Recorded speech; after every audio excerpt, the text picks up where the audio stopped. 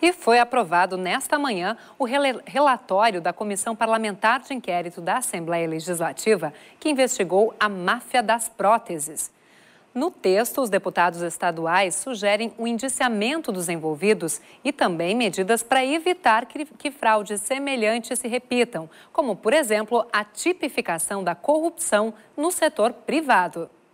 Entre as principais recomendações feitas pelo relatório estão a criação de um núcleo de apoio técnico dentro do Judiciário para auxiliar na decisão sobre liminares, que eram as que permitiam a compra de próteses superfaturadas, a mudança do Código Penal para instituir o crime de corrupção no setor privado e incluir práticas como superfaturamento, a criação de uma frente parlamentar sobre a máfia das próteses, que investigue a partir de agora também a máfia dos estentes, que, segundo o relator, seriam tão atuantes quanto a máfia das próteses. As vítimas algumas sequer tiveram efeitos ainda. Fizeram cirurgias, têm alguma dor, mas vão levando, e quem sabe daqui um ano ou dois tem um problema com a rejeição do equipamento, dos, das próteses, por serem materiais de má qualidade ou até falsificados. Então, esse é um processo permanente, por isso que nós propusemos aqui uma comissão, uma frente parlamentar que funcione permanentemente acompanhando